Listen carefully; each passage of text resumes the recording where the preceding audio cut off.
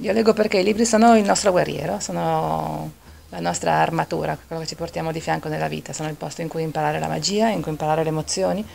Io ho imparato le emozioni e la magia attraverso i libri, nessun altro ha mai saputo spiegarmi altrettanto bene e ci sono momenti della vita in cui senza emozioni, senza magia non si riesce ad andare avanti. Io leggo perché.